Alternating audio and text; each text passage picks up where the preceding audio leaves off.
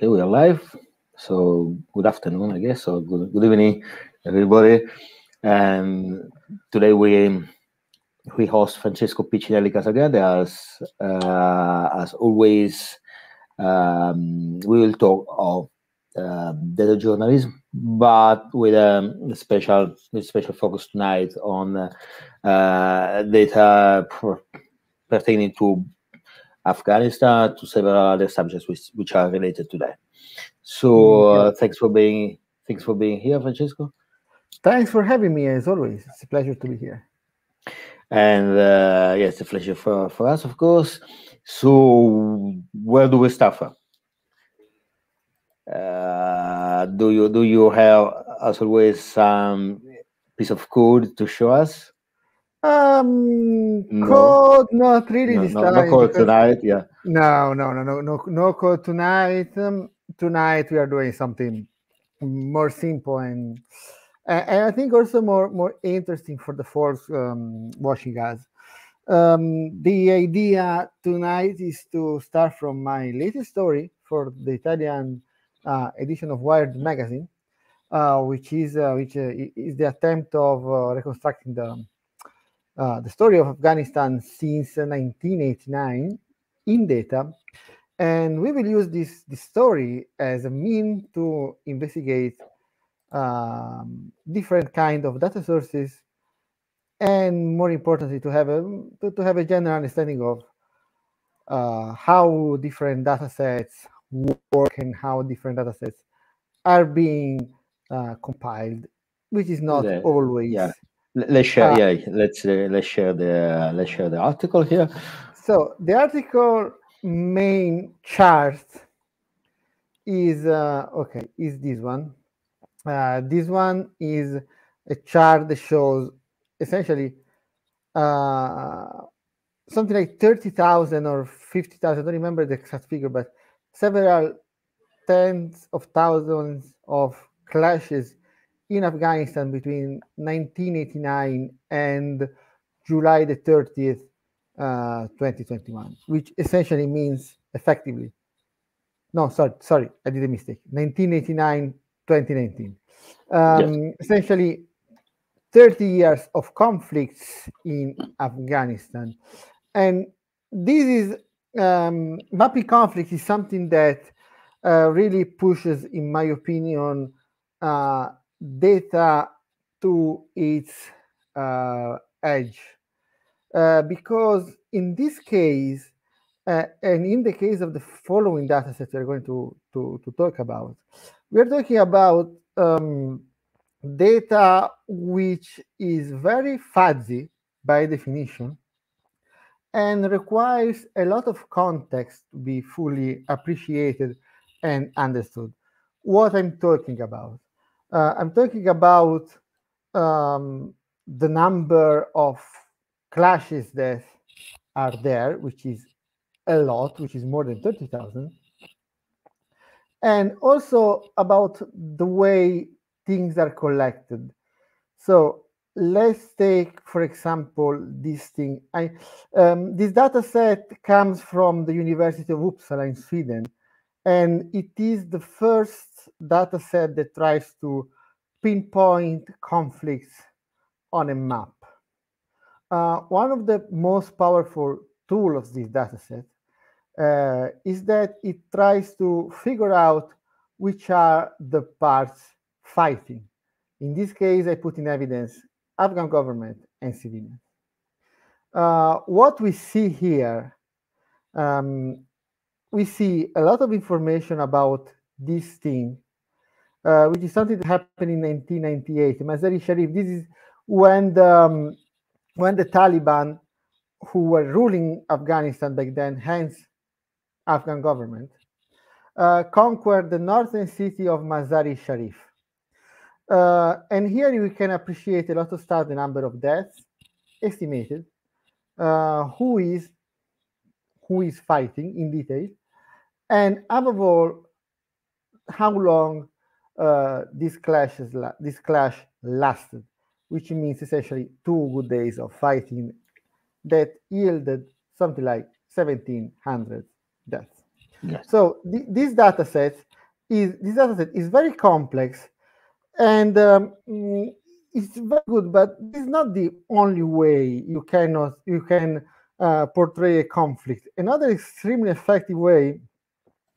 By, by the way, by the way, I will I will share the link to your article in the yeah uh, in the in the chat. Yes, and as a comment to um, to to absolutely. Facebook. You have it in the in our yeah, in sure. our pri- in, in, in our private uh, sexy chat. Uh, so this is this is one of the ways you can you can represent a data set a, a conflict in data. Uh, if we go to another data set, which is the one um, I used to portray the most recent situation in Afghanistan. And this is a data set that theoretically starts from 2017, but because I was using the other data set, I couldn't allow myself to have overlaps. I will explain this in better detail because it's uh, it's slightly more complicated than it sounds. So the idea here is that this is another data set. This is this is produced by this institute, which is called ACLED, uh, which is an attempt to pinpoint clashes and political conflict all over the world in real time. It is a massive effort. Uh, it partially stems from the data set we saw earlier, because the academic paper, the foundational academic paper of the two data sets is essentially the same. And it's a paper written yeah. Uh, by political scientist Havard Hegre, who is who, who is not the nicest person you can you can meet. I had the chance to meet him and to have some talks with him in a few years ago. He's not the nicest guy you can have uh, a chat with, but he's extremely good, extremely focused.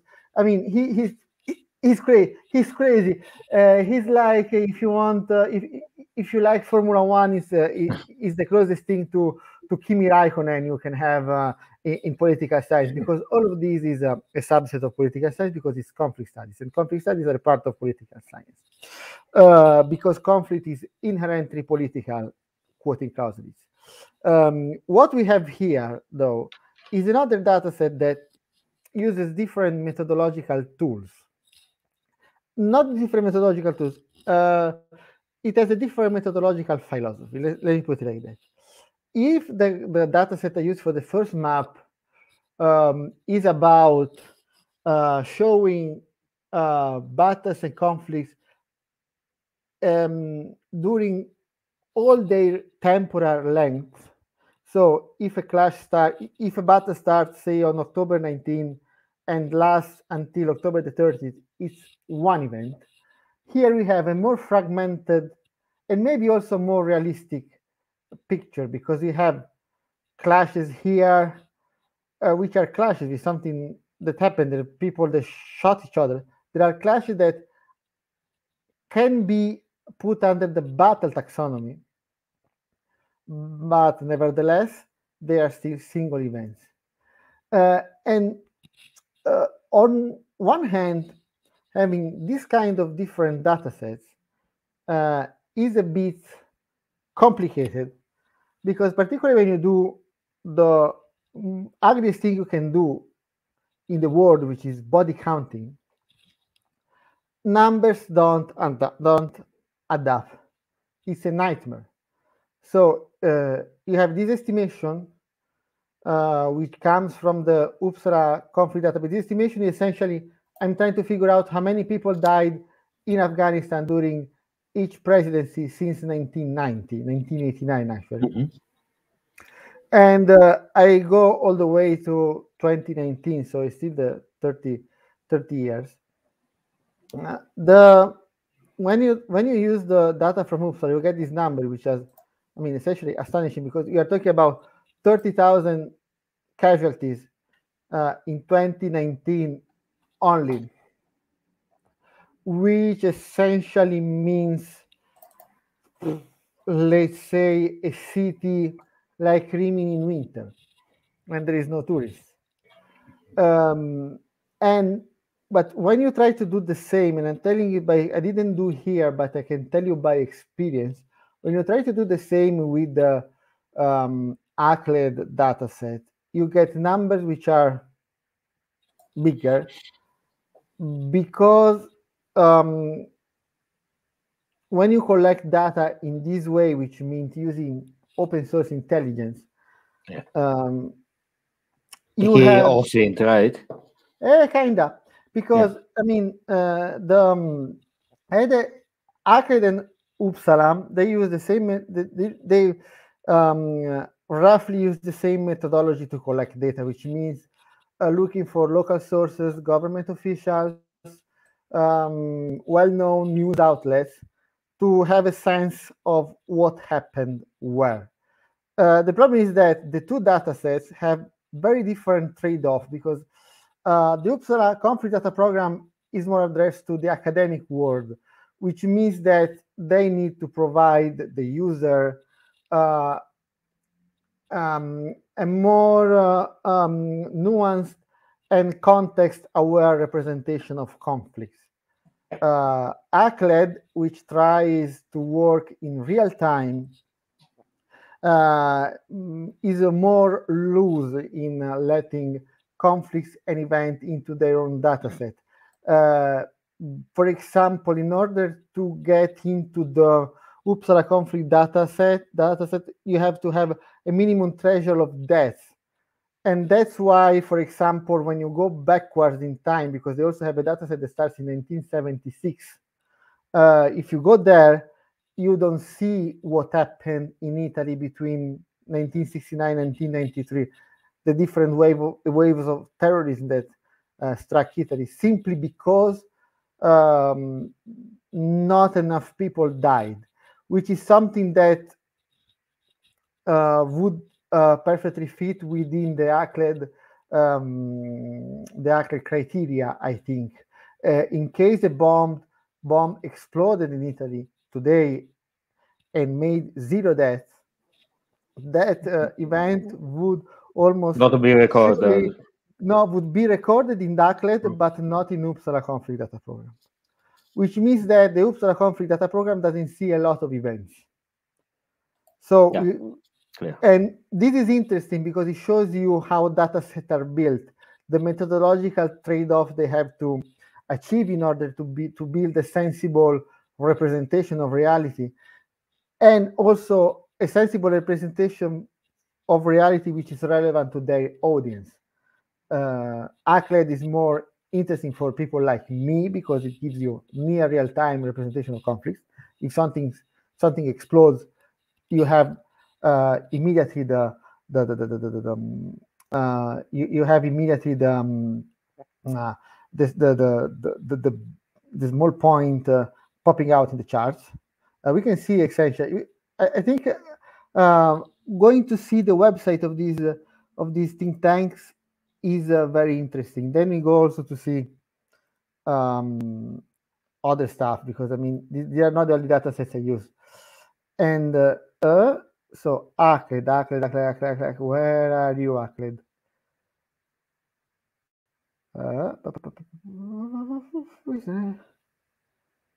there we go, Acled. So you can see what it's like, you know.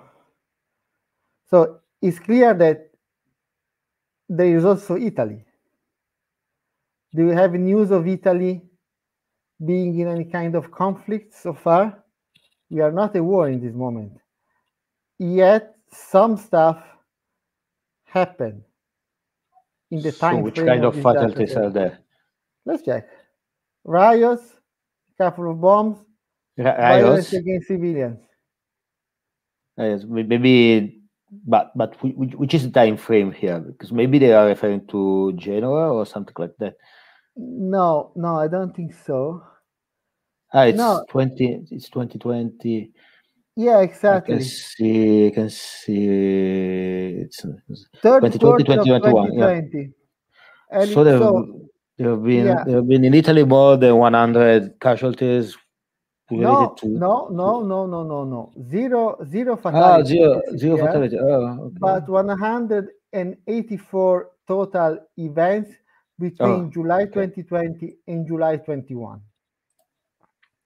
Okay. Uh, this give you, this alone gives you the dimension of how uh, loose are the criteria. Something like that would have never been possible in um, in in the other in in fact we go to see it we can go to see it and uh, we just find out what i'm telling which is that yeah you know you know it sounds it can sound very you know very unsettling but if you think about it we had public demonstration where maybe uh, people demonstrating were were hit. There's something that happens. So this is the the thing this is the this is the the um, the data set from uh, from the UCDP and it starts this is the Uppsala data set this is maintained by an amazing department which is the Department of Political Science of the University of Uppsala. It's something it's it's, cra- it's crazy. I mean what they do in social science in Sweden in Northern Europe is something out of this world. It's something that we on the continent apart from the Netherlands and Belgium and some other parts of it, we don't do this. Uh, and yeah, we see this, no? Okay, and you have terrorism, you have the um, the, um, the the attack of Nice in 2016 with 86 deaths as one-sided violence. But as far as Italy is concerned, between 89 and 2019 there is nothing and this gives you the dimension of how of the trades-off that different data sets need to achieve in order to be you know valid and um, and sensible because otherwise you know uh, it is uh, something goes missing uh, another problem of this kind uh, comes when you talk about drones. The two data sets we examined so far are not very good in working in showing drones.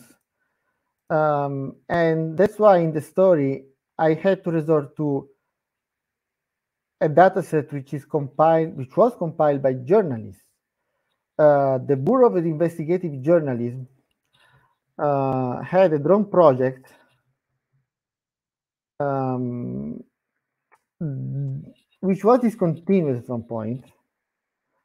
But if you go to see the data set, you discover that it had a number of problems on its own. And for example, uh, in this data set, I decided to use drones, but I decided to use uh, one part of the data set, which is uh, the part of the data set which is uh, where attacks are uh, are um, accompanied by Yeah. an ID number. Okay, and I say it to the source, and I felt I had to do this this thing because this data set um, doesn't give you a precise number as far as I understood the data set. Maybe I'm wrong, but this num this this data set doesn't give you a number which is there had been uh, 2000 drones attacks in uh, 2017 it gives you a fork which is legit uh, but the problem is that if you want to have uh, a tangible proof of the drone attack you just you just can't not trust the source which is in this case is the uh is this amazing i have to say uh, collective of journalists but essentially here we have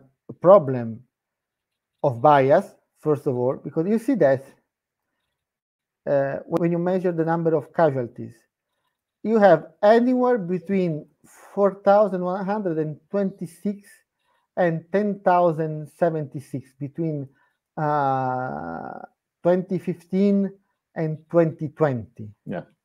And the same goes for civilians. And this, in my opinion, poses a great problem in terms of reliability and the injuries. So, what I decided to do here was to do a reductionist work uh, so that I was sure that I was not um, selling crap to the reader. Okay. Yeah. Uh, and that forced me, and that I mean, uh, forced me to have uh, um, less less number, less people injured, but more importantly, um, a sensible methodology and a way to verify the number of strikes going to official website like that one of CENTCOM or the NATO stuff and whatsoever. And I think that I, I used also another couple of data sets. I don't know. I, I think we have time to see them too, but and uh, um, they are also interesting on their own merit, I think, because they are uh, they are very relevant and they will be even more relevant for the future. And this one is there is this project uh, which uses essentially the same methodology, which is open source intelligence. Um, which is which is how is open it called? Source intelli- I, I called it open source intelligence. but is, but uh, the project itself. So the project itself, I'm showing you the I'm showing you the website in a second. Okay. It's called um, uh, IM, IDMC, which is a relatively new thing around, but it has a very powerful data set, particularly when it comes about explaining uh, explaining um, internal displacement dynamics and also migration in, to some extent. Um, and uh, yeah, this thing is uh, uh, uh, there you go. Uh, there you go. Internal displacement monitoring center. This is an international project. You can see the who's who funds it.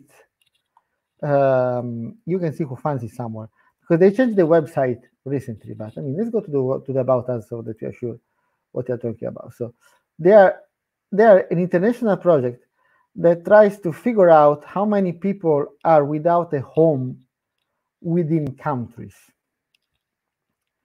Uh, and they do two things. They have two different data sets. Uh, one is concerned about war. Um, another one is uh, mainly concerned about natural disaster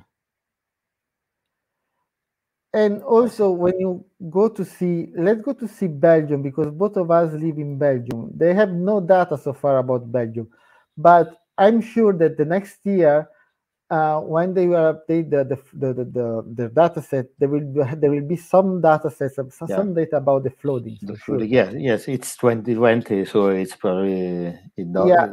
it's not recorded there no yeah but i mean for example in yeah, the netherlands next, next year yeah next door 4000 new displacements for the for natural disasters yeah that's a lot you know that's, that's a lot. And if you go to see you know the conflict data the conflict data is is just you know amazing because it goes back something like 10 11 years.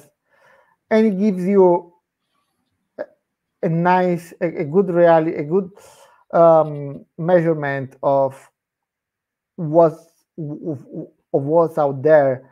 And also, I mean, uh, I didn't do experiments yet, but given that, for example, Frontex gives you data on uh, on uh, on who comes to Europe divided by nationality and route, I'm starting to figure out in the last few days if there is a way to use this data of internally displaced displaced people to predict the next uh, migration wave to Europe, because I think that somehow the two the two variables are connected and correlated, and I think it's pretty much the case because it would make sense because um, what if you talk about Afghanistan, the striking data, the striking the single striking piece of data that you have is that at least since 2014, when ISAF, the NATO mission, stopped fighting,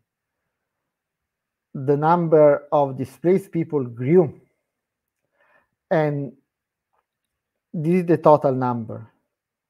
Okay, we are we are in 2020 we're above 3.5 million, which means that if this curve doesn't flatten, it means that people are not finding new homes, which means that they have to go somewhere, and somewhere for them means Europe essentially. Yeah, probably. And as we know, Europe is, is already building fences uh, and new and new barriers Exactly. Uh, yeah. Have you have you read the the, the, the article by Francesca De Benedetti on for Domani today? Uh, unfortunately, yeah. unfortunately yeah. not. Yeah, Tell yeah. There, there were the, well, there, there, there, there's always uh, always this. Yeah, there always been, but it's it's increasing. Uh, yes, this uh, let's say building of walls at the eastern you know, border of Europe. So in uh, Poland, Hungary, uh, and in the, um, also in the Baltic states. But the, the government is now is building uh, new walls, um, barbed wire barriers, and so on to avoid, you know, to to to to, to brace for probably for uh, people coming from Afghanistan. Yeah, yeah, yeah, which is something that is gonna happen no matter how, no matter how yeah, sure. hard, how big are the walls, they will come. And I mean, there are also, I think, some juridical duties to obligations to to to to at least rescue these guys. So uh, uh, I think we have explored. Um, I think eighty percent of the of the data sets I uh, I use in this article. Um, I, I, have to, to make uh, a few more remarks about the fact that this approach uh, in conflict studies and in conflict analysis also in, in journalism, uh, although it is something that it is better than uh, most of traditional reporting because most of traditional reporting uh, when it comes about war is essentially dead. It is too expensive, uh, and it's also too dangerous because I don't think that there are many Western reporters outside of Kabul in this moment in Afghanistan, and I sincerely wish that they are not there because I mean I think it's very dangerous now, and I'm told it is extremely dangerous. I know of NGOs that are um, now having problems in understanding uh, who to address in the new Taliban government because there is no government so far. So they have problems in figuring out uh, a way to operate in the future. And uh, besides that, um, this kind of analysis um, doesn't allow you to uh, build the context of conflict. And this is, I think, the criticism most people do when they see this kind of stuff because they say we don't know what happens, and we know we see the numbers, we everything. And they are right, but they are right uh, until some some some extent because when you uh, a piece of journalism is essentially a trade-off between accuracy and uh, language because you can be you cannot go into the technicalities of a conflict of this dimension you either tell the story of the milestones of the conflict or you describe the data. You cannot do the two things at the same time. And given that newspaper, and this is a good thing because newspapers are not blogs, so essentially there are a lot of people writing, and you know, reading a website or a newspaper, the same thing. You can, you know, mix information together, and then get a more precise idea of what is going on. Nevertheless, there are limitations, which is uh, the lack of a context and the lack of uh, an historiographical, if you want, approach to the to conflict storytelling, which is something that is unavoidable on one hand. On the other hand, um, it is not a limit at all, but it is something that is very powerful about this kind of storytelling because if you do data, you do data, you do numbers, you do you show people dying, and these are facts that people cannot ignore cannot ignore once they learn them. So despite the limitation i think that um, if the that if the different institutions I mentioned so far keep collecting and putting data together, we can have a chance to to avoid an informational meltdown like the one we had uh, at the beginning of the war in Afghanistan, where we didn't yeah. know anything about what was going in the ground, and there were reporters like Maria Grazia Cutuli who lost their life. Yeah, uh, yeah, of course, of course. The passion is, and of course we, we, but there are still people who yeah think that data are not useful or that data do not exist, or people who ignore data uh, because probably because of you know, yeah, because they don't trust data. I guess mainly this is the main the main reason. And, the, the, uh, most of the time when I speak to journalists uh, about data and data stuff, they tell me that, that I get the impression that they feel like I'm telling them something that they think they already know, whereas it is not true because no one has uh, um, a glimpse of what goes on on the terrain, and this is exactly what uh, this stuff tries to do with many limitations, with many trade-offs, but at least it is factual and it is something that uh, gives you a glimpse of the magnitude of stuff going on. Uh, we are talking about something like more than 30,000 clashes uh, collected using a very restrictive methodology in only one country for 20 years. You are talking about 1,500 clashes per year, essentially. Okay, on average, it's a lot already. And this the kind of stuff you can have it only relying on these research institutes that do these as their job, as their mission. Yeah. Yeah. And, and then you can build a, a narrative, all the narrative you want. And once I was studying the number of civilian casualties in Syria uh, until 2018, and I was told that what I was saying was ideological, was ideological. Facts say there are data. Okay, there are you can debate the methodology, you cannot debate it. That's crazy. The body count per se. Yeah, sure. And that, that, that, that, that that's pretty much it. Now, I, I don't know um, what, what to do with the data, but I, I think that the sense of tonight is that, you know, it, it, on these meetings that in a world that uses data and portrays data as a sort of the 21st century oil, we, we, we, we, we need to, to start seeing the ins and outs of the engine this oil tries to feed.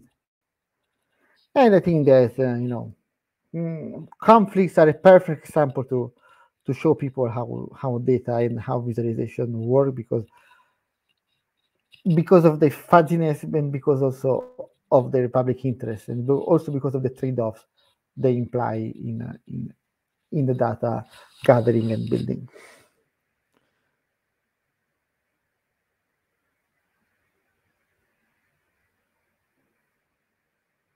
And I can't hear you.